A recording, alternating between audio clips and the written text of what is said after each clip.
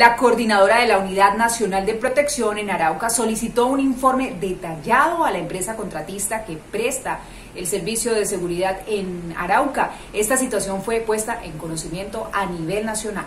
Luego que una lideresa social del departamento de Arauca denunciara a través de un video en las redes sociales que los escoltas del esquema de seguridad la habían dejado abandonada en Cravo Norte, la coordinadora de la Unidad Nacional de Protección UNP en Arauca le salió al paso a estas denuncias. Bueno, en cuanto a las aclaraciones de, un video que está circulando en redes sociales de la señora Mosquera, eh, pues sí me gusta aclarar que el tema de hombres de protección es única y exclusivamente de la UT.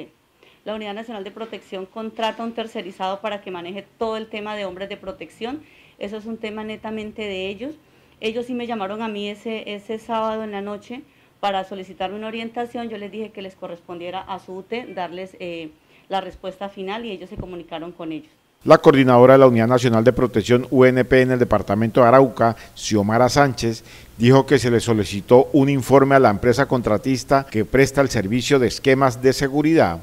Esa, esa solicitud se elevó a la UTE, yo le hice un oficio a la UTE para que me manifestara pues las razones por las cuales estos hombres de protección dejaron a la, a la señora Mosquera en el, en el municipio de Cravo Norte. Ellos aducen que ella hizo una solicitud de desplazamiento por unos días y les dijo que iban por dos días y luego al estar en Cravo Norte, pues de acuerdo a sus actividades eh, que ella ejerce como lideresa, le correspondía quedarse dos días más. Ellos manifiestan que ellos no tenían dinero para, para hospedaje, no tenían ropa para estar allá, pues esos dos días más que ella les, les informa a última hora que debían quedarse en este municipio. La funcionaria manifestó que los protegidos son los que solicitan los desplazamientos de su esquema de seguridad a otros municipios. La protegida hace una solicitud de acuerdo a las necesidades que se tenga de, estadía y la unidad pues procede a, a, aceptar y a, y a, solicitar autorizar unos viáticos. Si, es, si ella tenía conocimiento que iba a estar unos días más allá en Cravo Norte, yo siempre le he explicado a ella, podía nuevamente volver a hacer otra solicitud. La idea es no afectar el pecunio y de, los hombres de protección. También le solicitó a la empresa contratista que presta el servicio de escoltas por qué dejaron sin esquema de seguridad a la lideresa social en Cravo Norte. Sí, eso por eso les, digo, eso yo lo, solicité a la UT que me dieron una explicación de acuerdo al, al, numeral cuarto del contrato que tienen los hombres de protección, que nos explicaran los motivos por los cuales ellos la dejaron allá a la señora protegida. Igualmente a ella, en unos derechos de petición que nos presentó, eh, se le solicitó y se instó a la señora protegida y, aprovecho estos medios para instarla a la señora Mosquera a que debe permanecer con su esquema de seguridad hasta tanto no se tome una decisión. En estos momentos ella hizo públicamente que se encuentra sin su medio de seguridad. Ella es una protegida y lo hizo pues en, sus medios sociales, en sus redes, donde ella está dando a conocer que se encuentra sin protección.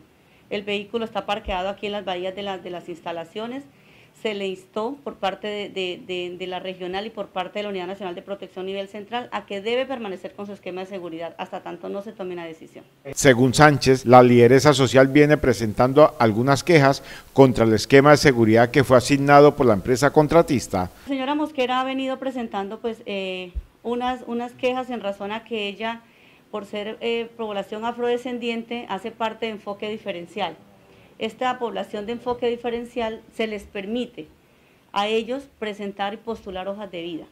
Ella ha postulado eh, hojas de vida en razón a que ella ha solicitado rotación del esquema con el que cuenta y eh, estas personas no han logrado acceder a, vincularse con nosotros en razón a que no han pasado las pruebas.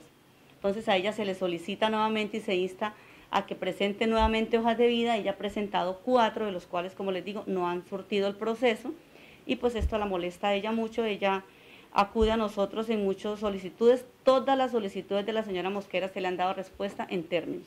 La Unidad Nacional de Protección le ha solicitado a la lideresa social que continúe con el esquema de seguridad que fue asignado, pero ella no ha querido. Esto es un mal uso de la medida de protección, como se lo informé a la señora el día sábado. El viernes ella me envió un derecho de petición, el sábado le di respuesta al derecho de petición eh, en comunicación con, con Bogotá, me, me, solicitan que le informe a la señora que debe permanecer con su esquema porque eso es un mal uso de la medida, porque es una decisión de ella. Ella decide por sí sola no, no tener a estos dos hombres de protección, ella toma la decisión de dejar un vehículo blindado pues que está acá en, en, las, en las bahías, ella no se ha comunicado conmigo pues hasta el momento, ella manifiesta que yo no la he llamado, pero pues ella ha informado repetidas veces desde, desde que se quedó sin su seguridad en Cravo Norte, ha estado oficiándonos y se le ha dado respuesta eh, por vía email. Por último, la coordinación de la Unidad Nacional de Protección UNP señaló que la empresa contratista es la que responde por el personal de escoltas.